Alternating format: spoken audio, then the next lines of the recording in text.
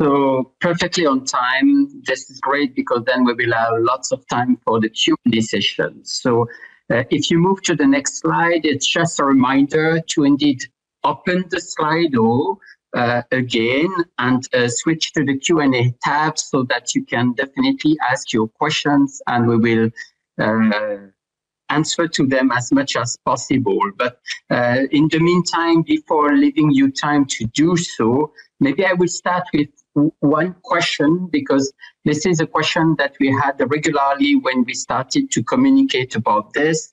So, so let's say that I submitted my data sources or I submitted my real world data study into uh, the catalog, but the information is not publicly available. So uh, in that case, uh, what could be the issue there? So I don't know if you, Stefania or Anna, would you would like to start to answer these questions?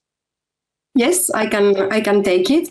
So, if you have submitted it but is not currently uh, available, is because EMA uh, is still reviewing your record. So, once your record is reviewed, um, you will receive an email notifying you whether uh, it is published or if it, it is not published, why, and what you need to change in order then to be published. Perfect. So, so it means also, and maybe a follow-up questions uh, is that the study can be returned, in fact, to the by the moder- moderator, sorry, uh, to the, the person who has um, is the contact point. Uh, but sometimes you may not find a reason for this. So, it, will this be happen or not, and uh, what will be the reason for it? So always when EMA returns back a record to you, there will be um, a justification. And that you can find in the revision log that uh, I showed you before, where you can see all the revisions done uh, in uh, um, a record. So there you can find the justification of EMA. Perfect. So let us know if indeed uh, these uh, answers are clear or if you need more information on the Slido. Uh, let's go to the questions you've asked up to now. So uh, maybe one for you, Anna, is the catalog just for data sources used in uh, uh, studies requested by the European Medicine Agency, or can other data sources be included? Um, so the catalog aims for data discoverability, so it's um, definitely not ex- exclusive to data sources that we have used in the past. The um, purpose of is to find the landscape of, of useful data sources for various regulatory purposes, not EMA only. So we would actually encourage, as Stefania shown in her call for action, to to submit your data sources if you have one to, uh, to propose data sources that you know to be um, useful. So the overall answer is please uh, submit data sources to us. Perfect. And uh, maybe link to this because you just raised that point. Anna how should we motivate users to share data sources?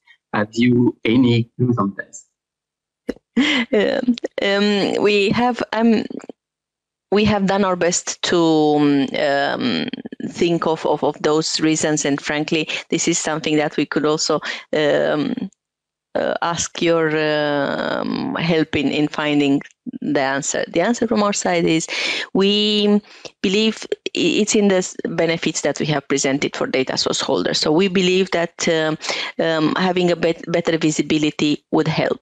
Um, the connection with uh, potential interest for the Darwin EU network uh, again is, is, is a point of interest uh, hopefully for our data source holder. The um, potential the fact that they would, could potentially be selected by EMA run studies or other regulator run studies. These are in our view the catch points if you'd like and the, the um, benefits that we offer to the data source holder. But uh,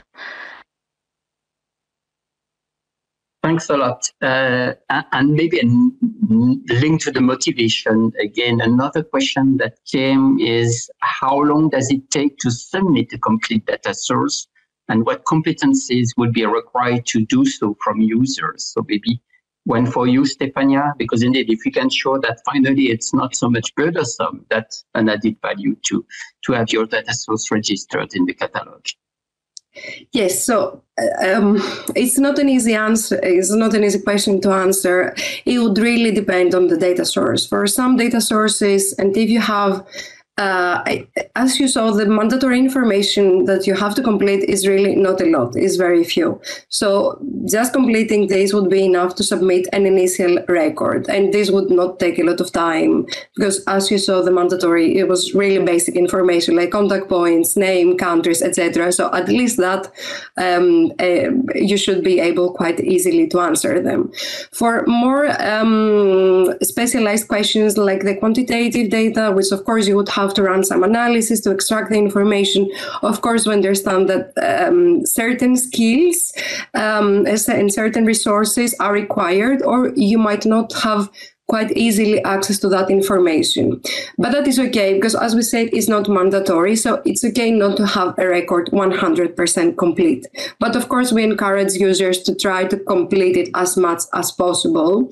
But um, so, yeah, it would depend on, on the data source, but at least to complete the mandatory fields is, is quite quick, uh, I would say.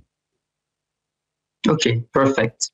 Uh, and an interesting follow-up question to this, linked also to the motivation to some extent. In your opinion, uh, are there any cons for users to submit data sources? I don't know who would like to start with this one.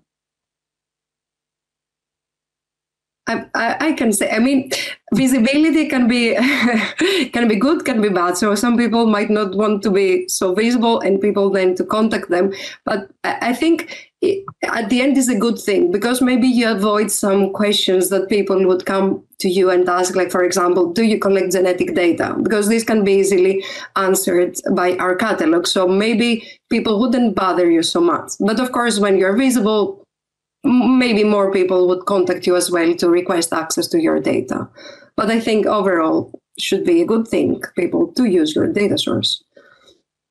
Yes, indeed. So maybe one that I can take is uh, we, we had questions regarding how genetic data is protected to avoid abuse and misuse.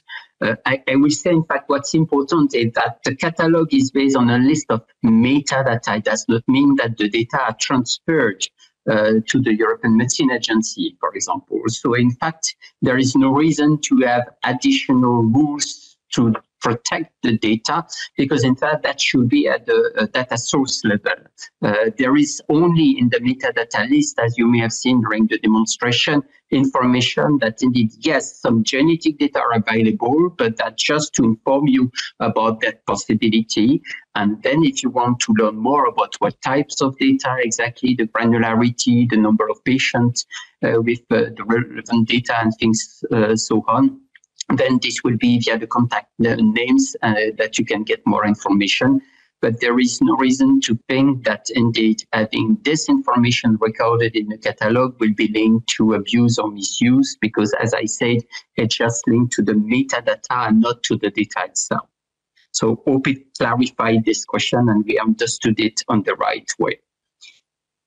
Uh, continuing on the, the catalog, and then maybe we will leave uh, a little bit uh, room for the studies uh, part of the catalog.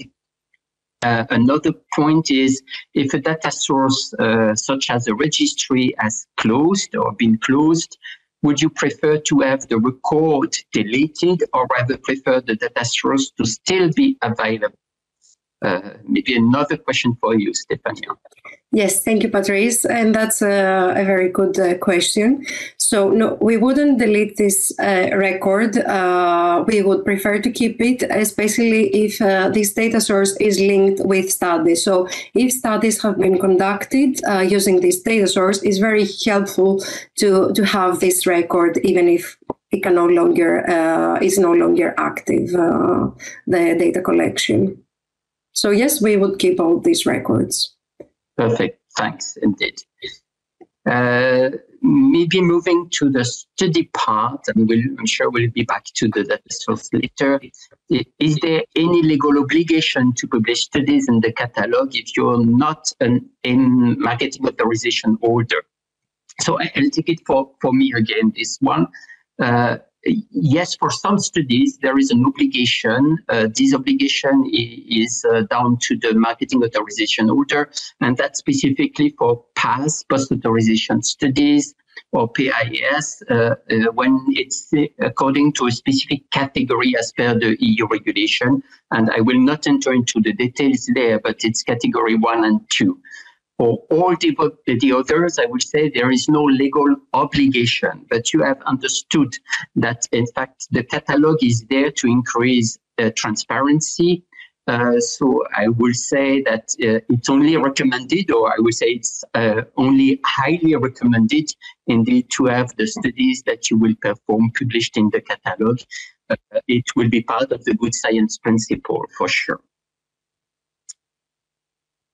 Okay, uh, let's, I'm going all the studies, uh, all the questions, sorry, coming in. So um, I will keep some of them for, for the end. Um, uh, there is a, a, question about are there any plans to be included uh, to uh, to also include sorry medical devices, IVDs, and digital health devices.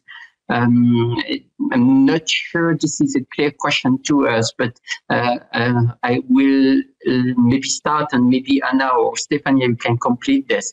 I, I guess there are indeed some metadata elements in the catalog, uh, specifically linked to the data source, where you can indeed click if this information is available specifically in the data source. But uh, can I check with you if it's correct or not, my recording, uh, Anna Stefania? It's, it's correct indeed, yes.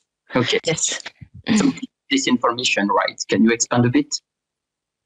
Uh, yes. So we do have uh, in, in the section we um, we presented on what kind of data do you have in the data source. Um, among other things, we have uh, such as um, uh, mobile devices, wearer information. So that's it. It's a tick box. Do you would you have that in your data source? Would you have information on medical devices? Uh, so these are listed as individual elements that you can tick that you'd have information about and then it can be searched uh, and you could go and ahead and say uh, i'd like to see all data sources that have information on medical device and you'd get the list of those. So in, in that sense we have that information. If that's what the question was aiming at then the answer would be yes. Perfect Thanks a lot. So, so back to the data source for a few questions. Uh, Anna, maybe for you uh, again, our real-world data source is encouraged to clearly describe the access conditions to the data, such as uh, the criteria to, to have access, the fees, the expected timelines for this access, and so on. Uh, indeed, we have um, quite a well developed section on this kind of information. We do have whether there's a fee required, um, um, what are the conditions of access, uh, what kind of access would you have? Would you have access further to um, um to identifiable data? So all of these are um, are structured in the form in the administrative section towards the end, the on on on the data management sort of. Uh, uh, section. Um, for and also you can use further than what we have there you can use the contact point to, of the data source to find out more specific information if you need it. Okay. And uh, maybe a more general question also for you Anna you on the floor uh, are, are, are we going to um, uh, use some standardized standardization, sorry for that, in the future, like DCAT to automate the submission of data sources? We actually are, yes. Um, so yes, this is the this is the vision there. So we're working in the background. We're working with the colleagues from EHDS, EHDS2Pilot, and uh, in in the development of the DCAT AP Health standard. And we have uh, consistently provided feedback and provided um, our input in in the development of this standard, so that it goes in line with what we have developed and with our needs as a catalog. So. Um, the vision indeed is to be uh, to head towards interoperability with the EHDS standard and in and data sources in general. Yeah. Yes. Perfect. And maybe another one that I will keep for myself. So, is the aim of the catalog to also capture non-European data sources, and if yes, in which context? So definitely, yes, you may have seen in some of the examples presented today that they were more than just EU or European data sources used. So if you use, for example, a US or a Canadian or an Asian data sources in one of your studies, I think it's important to also have this source included in the data source catalog because you understood that one of the key new functionality of these catalogs is the link between the data source in one side and uh, the studies on the other side. So definitely yes, you can also decide upfront to register the data source uh, for all the reasons when we were talking about the pros and cons of doing so that have been discussed up to now. So yes, the focus is mostly on EU first, but indeed, uh, feel free if you think it's a valuable sources and you have used also these sources in studies in addition to EU sources uh, to include also these sources in the catalog of data sources. So uh, yes, as a short answer. Uh, maybe moving back to uh, the study part, um, some fields of the new catalog uh, regarding the studies are not mandatory anymore. So I think it's referred to what was before in the EU PAS register.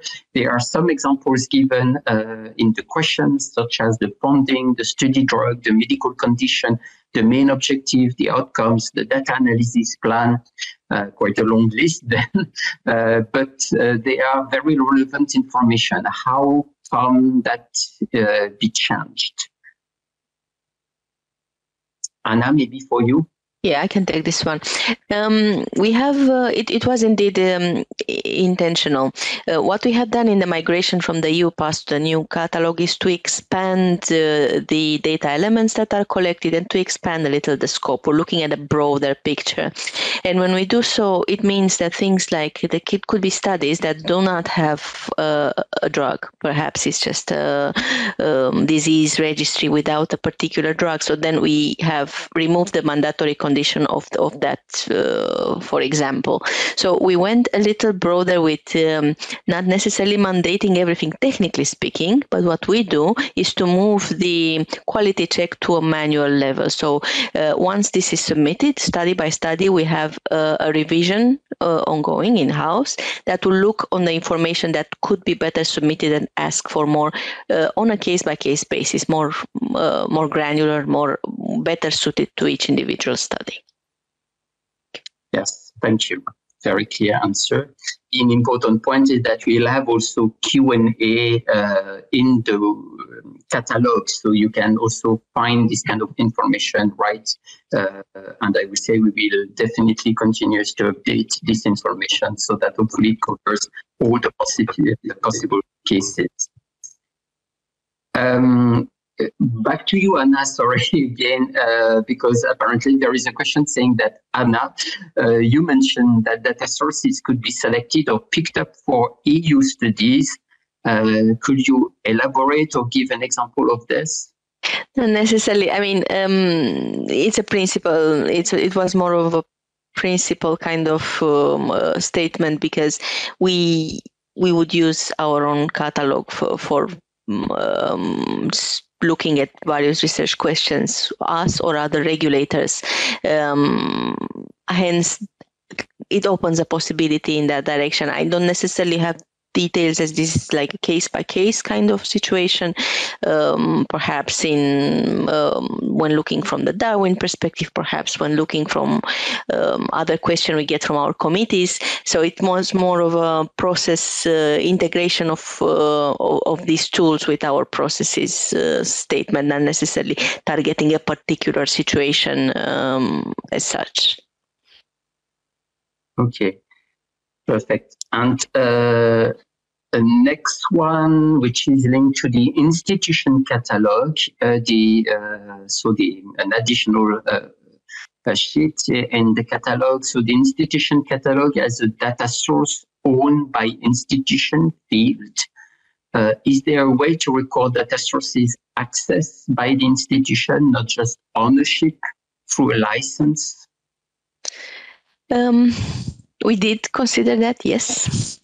We haven't really implemented technically, not just yet. It gets a little complicated in terms of data model uh, uh, and of concepts we could do that in the future, but at the moment we we we stick to um, this is the data owner, this is the data source. Uh, we are aware of that uh, level of intricacy and and uh, um, that it could be useful in the future to to find a good architecture that captures this information, but at the moment we do not. Okay. So there are quite few questions also. I tried to regroup them uh, linked to very specific aspects. Uh, one is a suggestion to improve the forms to include an information box for terms that may not be well known uh, directly in each question. So the same model as when filing a task form. Interesting linked. Uh, so will this something that we can potentially uh, consider, Anna, maybe? Easily, yes, yes, and it, it's it's uh, it's part of how we uh, we we plan to to go forward. We have already put as much as we as we uh, knew at this stage, but indeed, I, we believe that what's going to happen is in the process of validation, it will be easier for us to understand which exactly data elements pose difficulties to people sending data to us that are not necessarily clear. And and using that information we'll be able to uh, better um, to, to improve the help that we give to our users. So in the following months i, I expect that that part will uh, will improve uh, with having a system live uh, going forward. Yes perfect. And maybe just because you're uh, it's another one for you and then i move to stefania but one, one additional one for you anna. Uh, to find data on safety events for particular medicines or combination of medicines can you search for a medicine name or two medicines name and or a safety event through all the catalogs and how are safety events coded what's the ontology behind it um, we are able to search for more than one, yes. Uh, the catalog will look for the keywords that you have asked for. Um, it's worth going saying that um, um, we will refine all the search. So for now, we give a very powerful tool, which is the search bar that looks everywhere in a um, very comprehensive way. But what we would really like to hear is um, well detailed cases of search that it doesn't they're not covered right now and we should be implementing them. So uh, if you feel like something it doesn't quite work in your search as you would like it to we would very much appreciate if you'd send us the whole description of what you are trying to do and you are not able to so that we can take it further and improve our catalogs with uh, with that. Yes definitely so Maybe the next one for you, Stefania. I, I noticed, not myself, but that's the person asking the question, that some sections are not recent in the exported files, such as the list of CDs linked to a data source or the CDM mapping details. Is this on purpose? Uh, I guess meant present, not recent.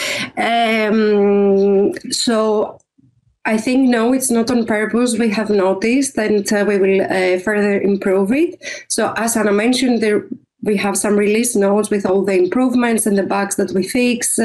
Um, so we will. It's one of the things that we need to further refine. But I believe most of the data are there, but indeed some of the data are missing from the exported Excel. That's because it's uh, it's the linked data, so it needs uh, it needs some further refinement. But uh, yeah, we will export everything. Perfect. Yes.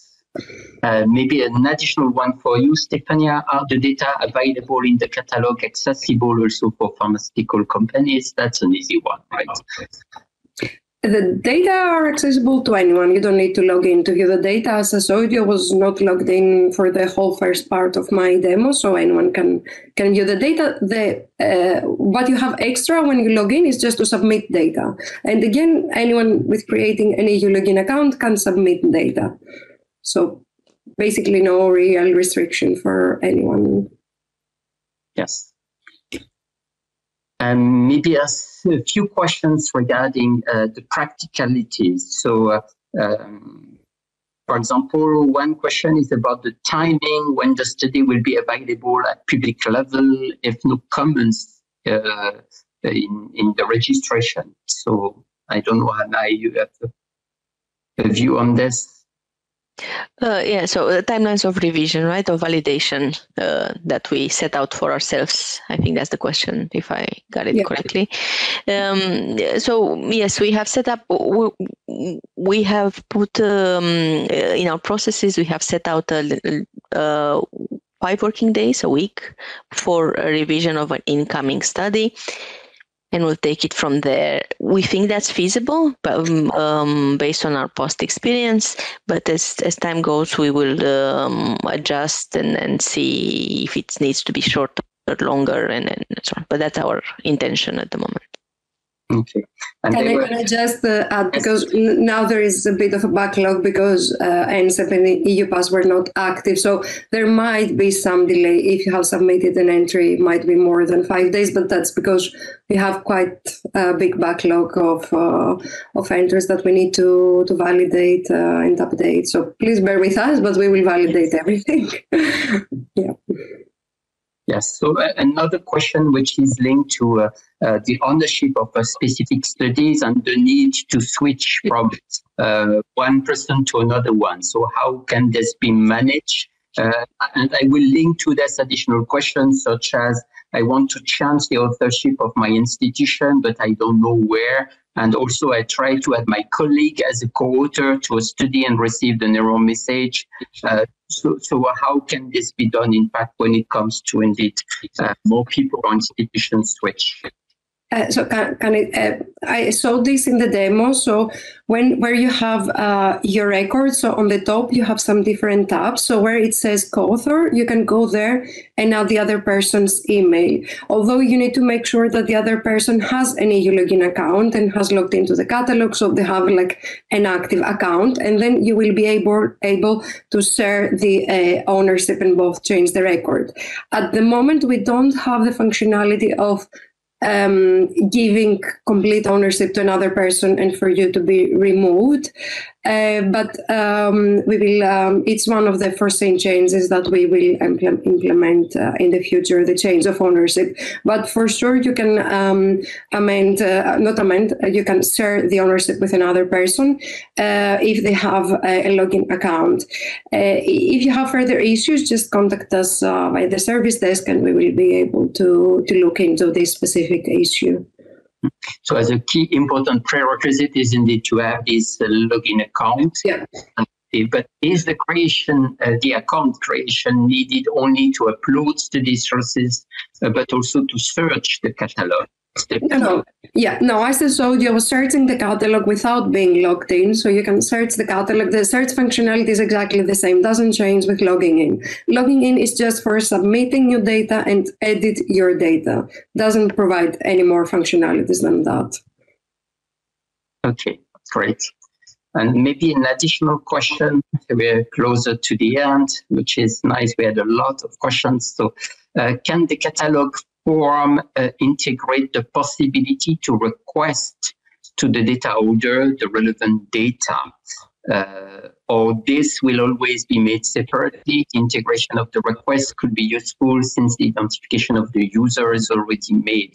So I think it's a link between indeed when you have a data source used, for example, in a study, uh, and uh, then you have a data source.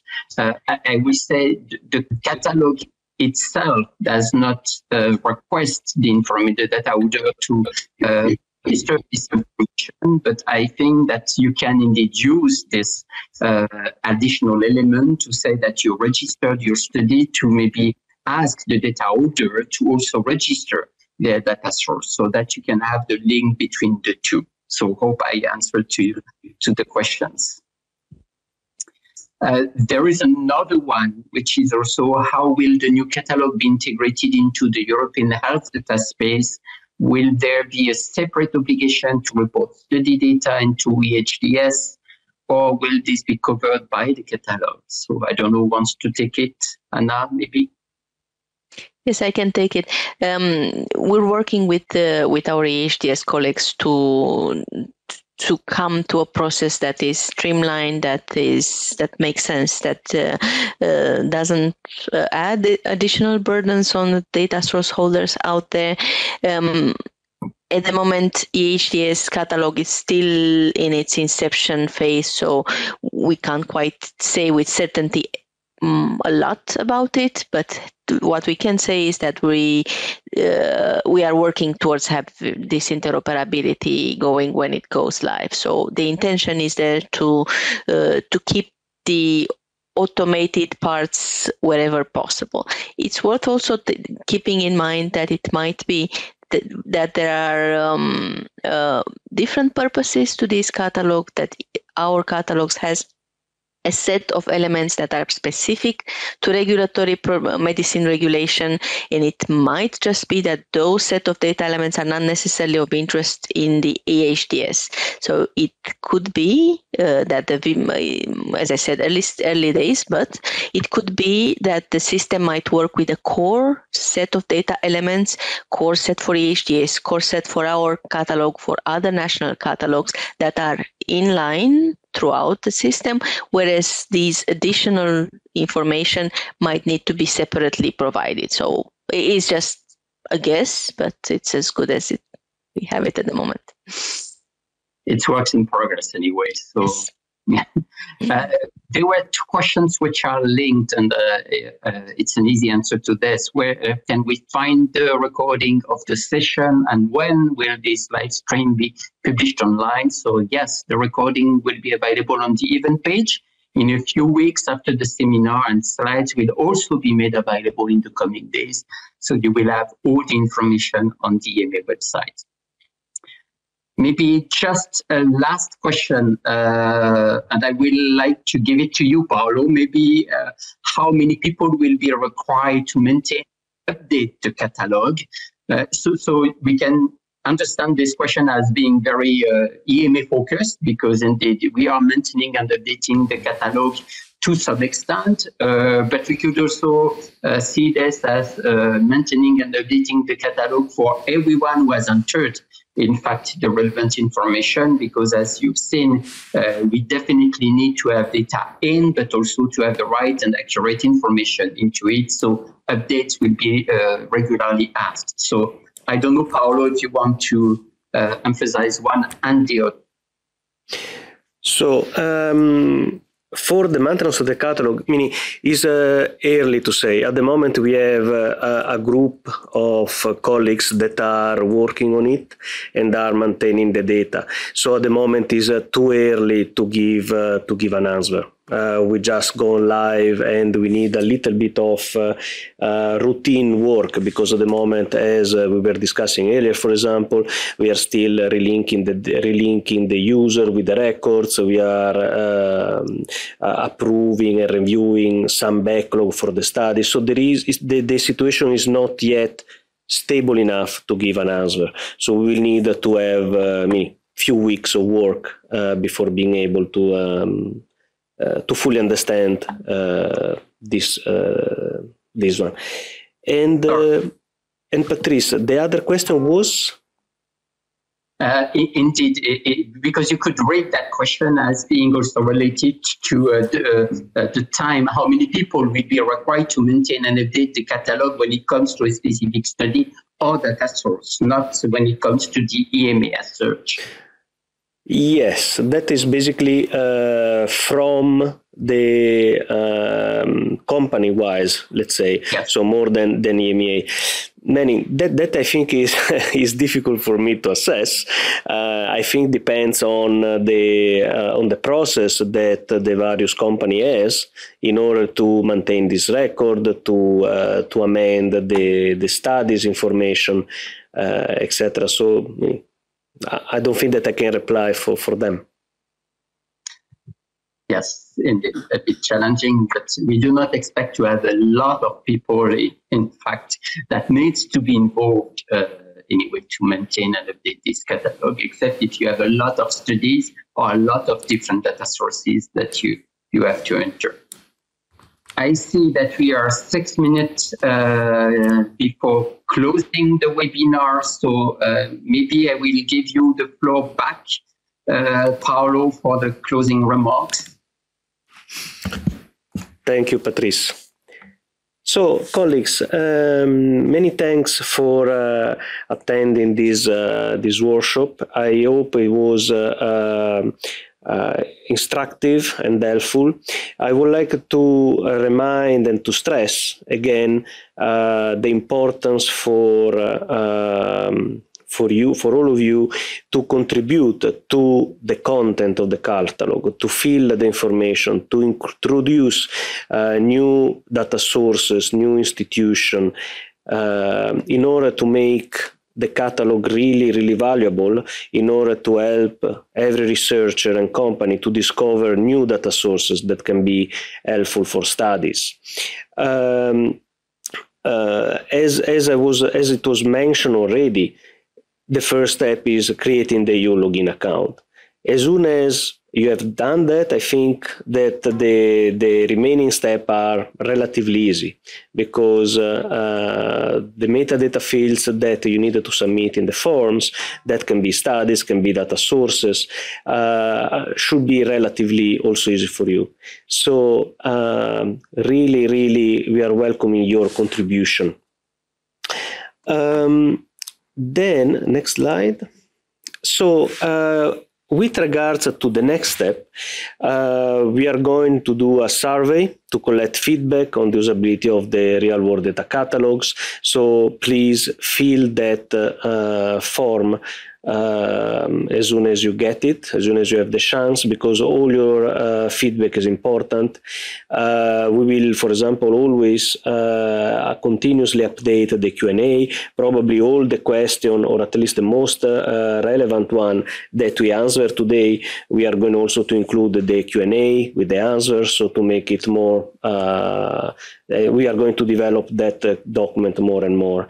Um, we are trying to uh, engage more and more uh, on a daily basis with uh, stakeholders in order to populate the catalog. So we will review the information that you send to us. We will provide you comment. We will try to identify new data sources. Um, and that is going to be a continuous work for the months and years to come. Uh, we are going to revise. We have. Um, we are going to revise the, the, the good practice guide, and that is expected for uh, next quarter this year. And we are releasing on a monthly basis improvement, bugs fixing, and enhancement. We are trying to uh, integrate also with uh, the EMEA website uh, before the end of the year. Uh, hopefully, we will, uh, will, it will be uh, we will be able to do that, and therefore you will be able to see, for example, in the medicine page in the website, the link to the relevant studies published in the catalog. And also, we will continue to work towards uh, fostering interoperability with other system that uh, may be valuable. And I think that is the last slide.